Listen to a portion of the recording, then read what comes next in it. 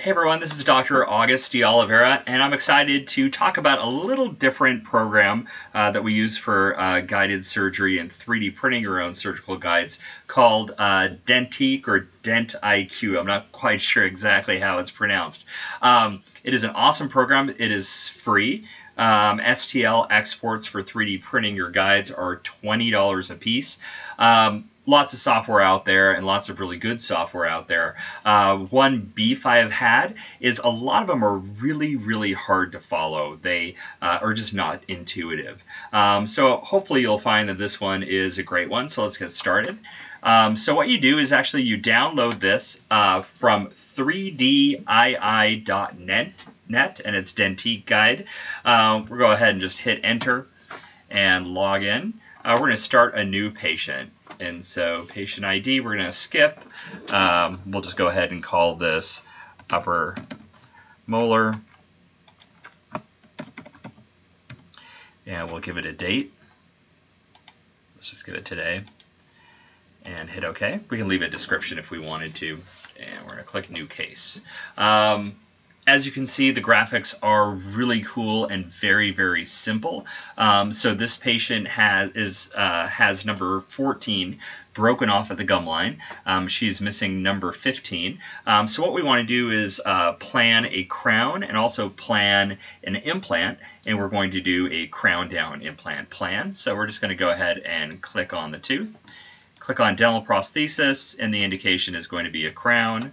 Uh, we're also going to click on planning and the indication is going to be implant planning and surgical guide. You can certainly just use this to plan the implant placement and do it non-guided, but we want to do it guided, so let's do it. Okay. Everything looks pretty good. Uh, we have this really cool toolbar. Um, the next step um, is sort of outlined here. So we're going to click the next one. It's going to ask us to load in our cone beam data and our upper scan data. So we'll go ahead and click on this and I will find my file on my desktop and hit open just click on one of the DICOM files and it's going to load in. I think what you'll see is the graphics, uh, especially the rendering, are really, really nice and clean. Um, things you don't usually find in free software. So you can see here we've got uh, the skull. Um, We'll go ahead and zoom in. The controls are the same as Mesh Mixer. Uh, right mouse button rotates, left mouse button selects, middle mouse button pans or zooms. So we're broken off here. We're now going to uh, bring in our scan data, and this is Linda upper jaw.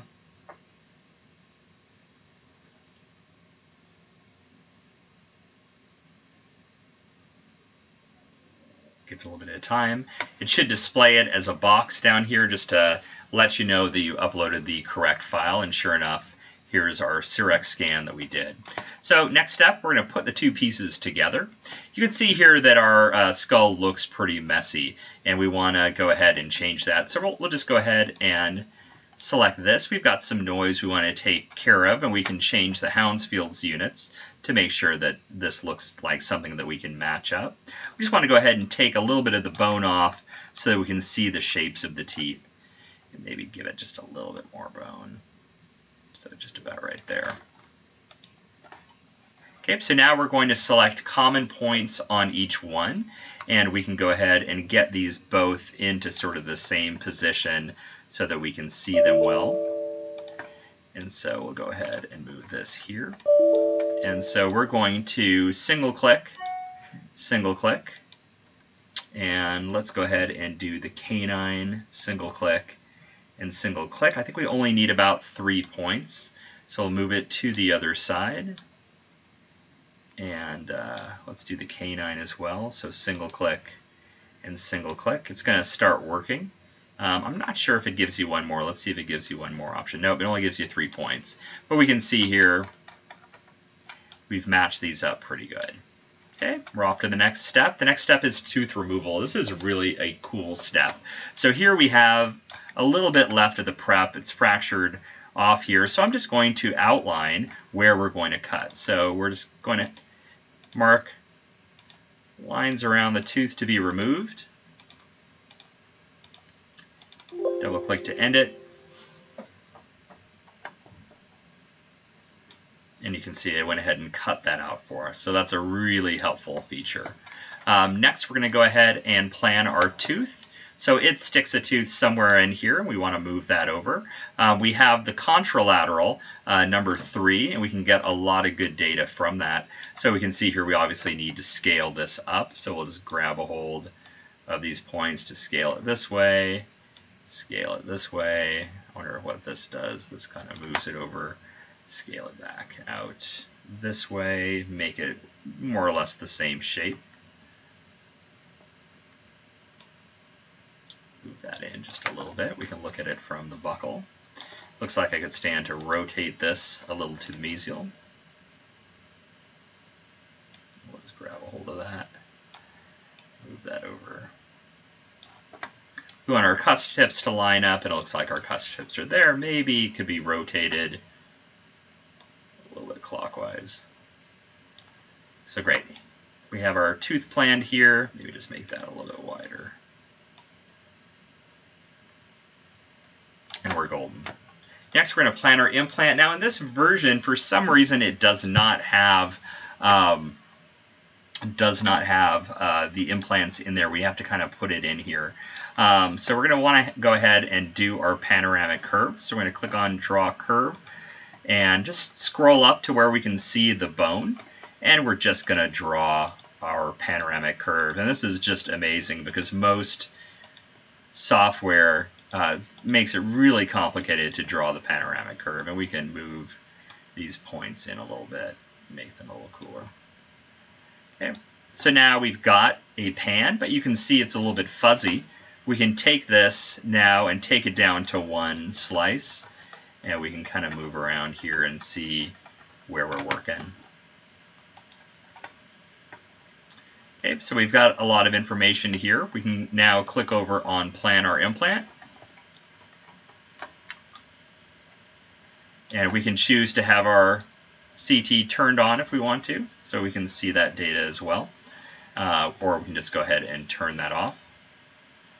I like to turn it off, it just makes things a little more clean. We're going to go ahead and add an implant now. And we don't have any implants loaded in, unfortunately, so I'm just going to have to select it. So in this case, I was hoping to get a 5.7 by 10 millimeter implant and just hit apply and it automatically sticks it right through the tooth. And so you can see here we do have some issues, so we can go ahead and grab this implant and put it back up here. We can rotate the implant with the top of the tooth stationary. We can look at it now in the cross-sectional image and see where we are. So I might want to move that a little bit more lingual and maybe tip it a little bit more buccal so I'm still in the center of the tooth. And that looks really good to me. Right off the bat we can see that we're in the center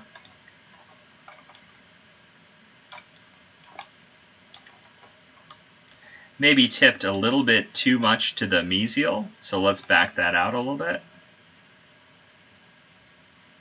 Move it out about here.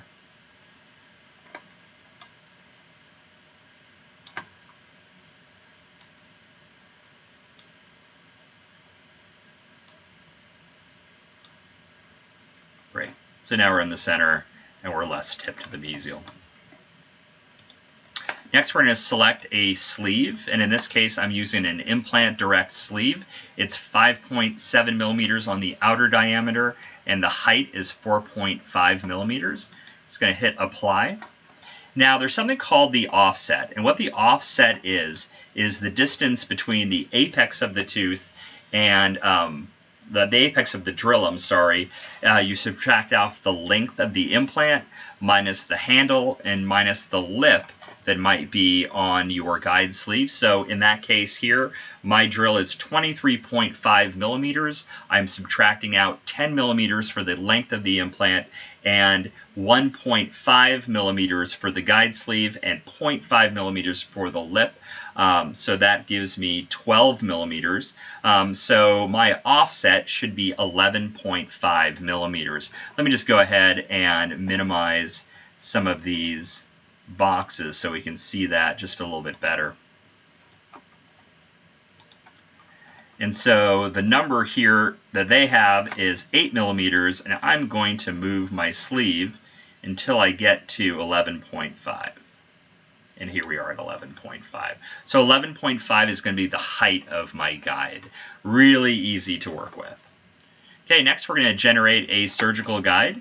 And so in this case here, we have to set the insertion direction, and I'm going to set the insertion direction from my current view. We're going to draw the guide, and I'm going to draw sort of a three-quarter length guide. I, I do like to go to the contralateral side, so we're just going to go ahead and start here and just click around, maybe over to the premolar, can move over here and just click and double click here. So now we have this done. Our guide thickness is going to be two millimeters. Our offset from teeth to guide is the amount of spacer, so that's 100 microns. The offset from sleeve to guide is the space on either side of the guide sleeve, which is 50 microns. Okay, when we're done, we just go ahead and click Generate Surgical Guide.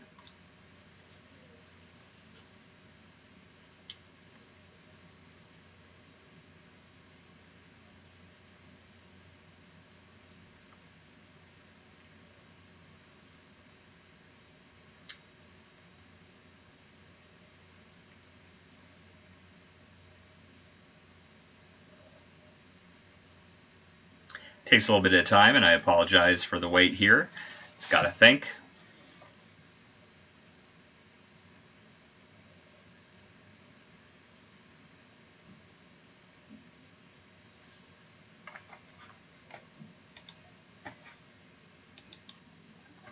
Okay, here's our guide, um, and we can start to move around here. Um, this little thing here, let's see if we can turn this off. This is offset cylinder and close it off. So here's our guide sleeve. Uh, you can see here we've it's a nice kind of thick guide sleeve, so we're all good. What I want to do now though is I want to put a viewing window here and also label the patient. So all we have to do is click on view window. You just literally add a box and you can now take this box and expand it and now play with it a little bit, rotate it around.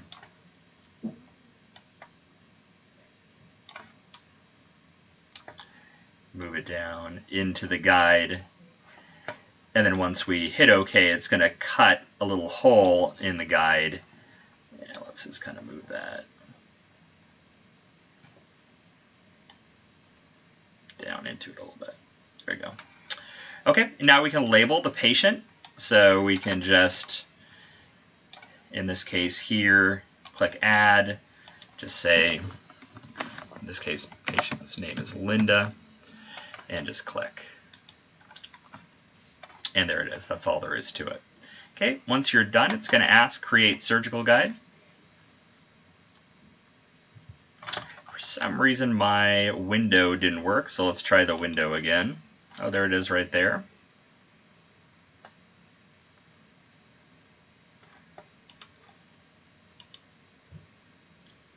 There it is.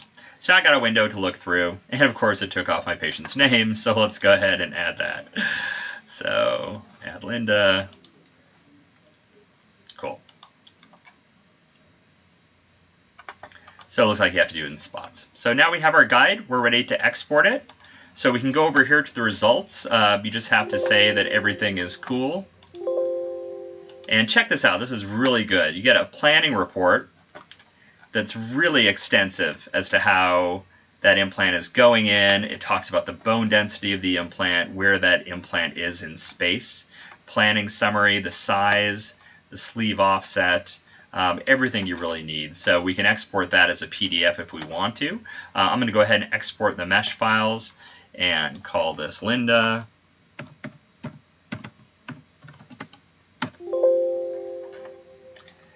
Now we can go ahead and open up our printer software. In this case, we'll go ahead and print this out with Rayware.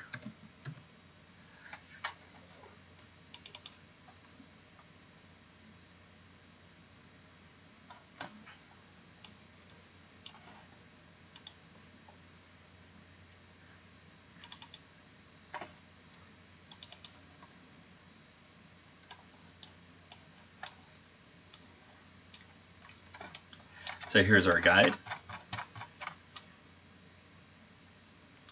And we can go ahead now and move it around. In this case, I want the intaglio up.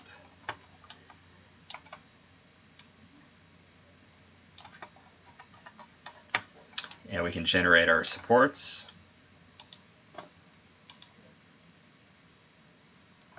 And send it to the printer. And so in this case here, uh, with the Moonray software, we have a choice of different types of materials. Uh, NextDent Ortho Clear is a good one. Also, the surgical guide's another good one. All right, guys. Well, thanks for listening.